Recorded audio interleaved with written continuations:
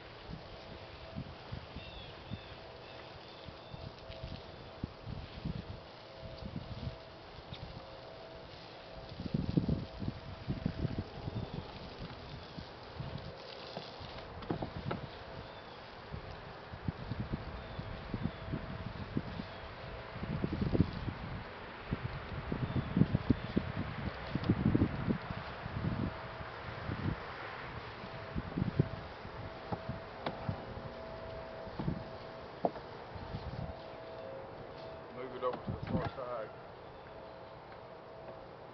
off the carpet.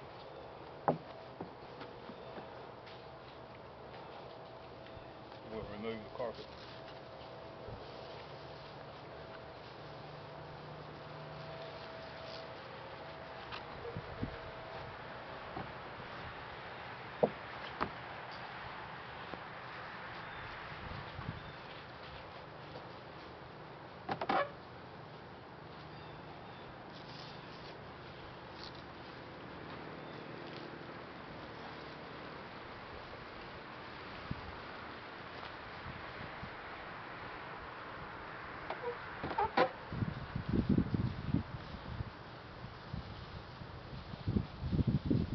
Okay, that's step two. Turn it upside down.